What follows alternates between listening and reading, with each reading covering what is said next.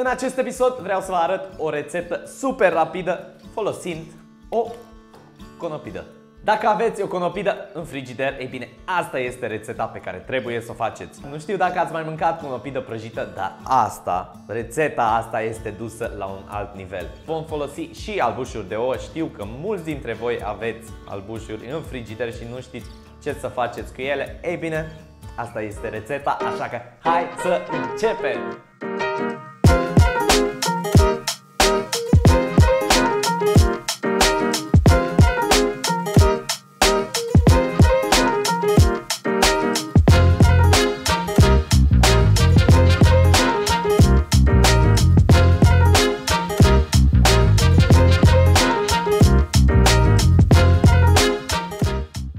Mai făcut rețeta de aripi de pui. Ei bine, asta este puțin similară, dar mult mai gustoasă. Și e varianta vegetariană, așa că asta e și pentru voi, cei care sunteți vegetariani. Tăiem conopina în două, desigur. Scoatem cotorul. Să nu mai aruncați frunzele astea de la conopidă, fiindcă sunt foarte gustoase într-o salată. Sfatul zilei, da? Nu uitați. Vom tăia conopida în bucăți care arată aproximativ așa. Și bucățile mai mari le vom tăia în două. Într-un bol, 5 albușuri de ouă. Adăugăm puțină sare.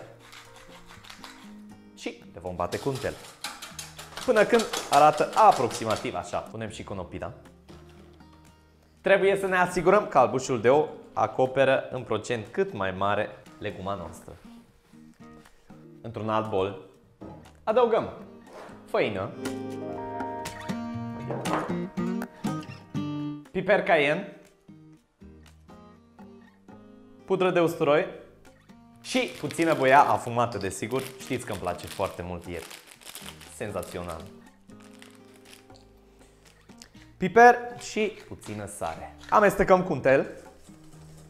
Amidonul de porumb este mai fin decât făina. Din această cauză îl adăugăm și va acoperi pe o suprafață cât mai mare conopida.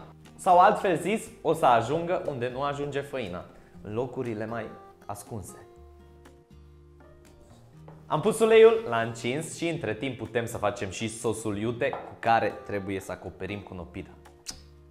Într-o oală, sos de ardei iute, adăugăm și unt, și desigur, pentru dulceață, miere. Și punem totul la un foc mic. Până când se topește untul. Să nu uitați, dacă nu v-ați abonat pe acest canal, ei bine, acum este timpul să o faceți. Cu asta mă ajutați foarte mult să continui episoadele astea. YouTube a introdus un buton cu care puteți să susțineți creatorii de conținut, care se numește Thanks și îl puteți găsi aici. Aici, aici, aici, aici, aici pe undeva.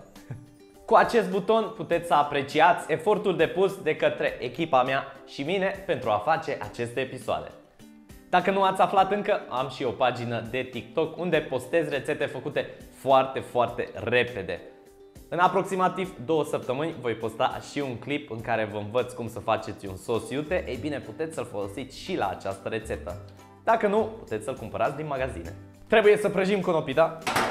Ba ba ba bam, pam pam. Uleiul este încins la aproximativ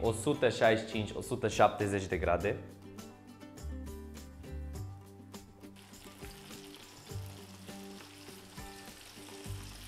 Trebuie să obținem o culoare aurie.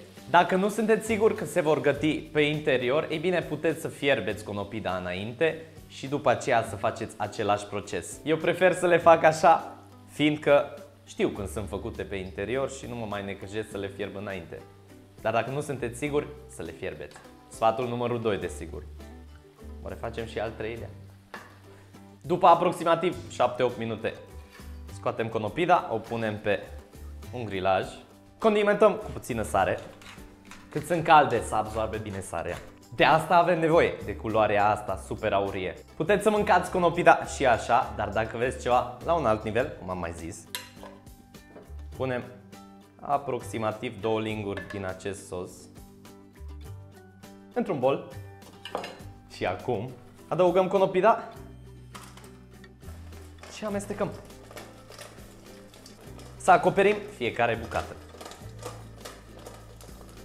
E ceva picant. Dacă iubiți mâncarea picantă, asta e pentru voi. Dacă sunteți vegetarian, asta e pentru voi. Dacă nu sunteți vegetarian, asta e pentru voi. Aveți toate motivele să faceți rețeta asta. Pentru așa o conopidă picantă, trebuie să facem și un sos. Bine, ăsta e un fel de sos, dar trebuie să facem ceva mai light. Vom folosi iaurt grecesc, contrabalansează iuțeala de la sosul de ardei, maioneză, puțin praf de usturoi, Worcester sos îl găsiți online, dacă nu îl găsiți în magazine, desigur. Sare, amestecăm bine.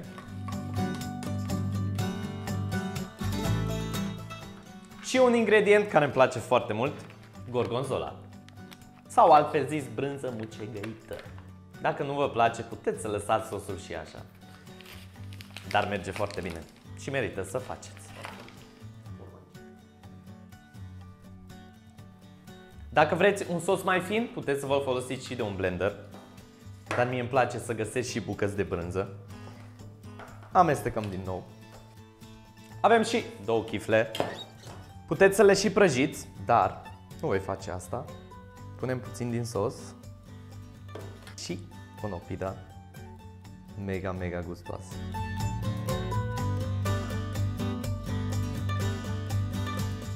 Zici că sunt semiciuri cu pui. Wow! Și mai mult sos deasupra. Mă. Să adăugăm și ceva verde și proaspăt. Puțină salată iceberg. O să mulțumiți pentru această rețetă, fiindcă este nemaipomenită. Nu știu dacă îmi place mai mult sandvișul cu pui sau sandvișul acesta cu conopidă, vă zic foarte sincer, e inexplicabil. Cum are conopida gust de pui, nu știu. Da, funcționează. Wow. Între timp am gătit și cealaltă porție. E wow. Sosul se potrivește excelent cu conopida. Și singurul mod de a afla ce gustare este ca și voi să o recreați. Ei bine, ne vedem la episodul următor. V-a pupat, ceau, ceau!